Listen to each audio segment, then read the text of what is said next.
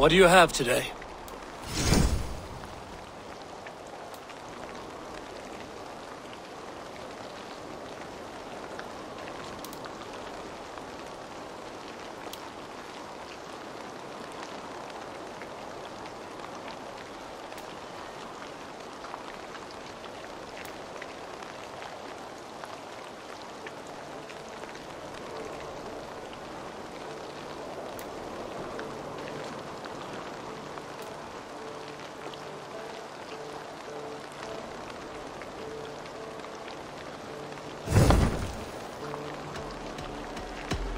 I will see you later, friend.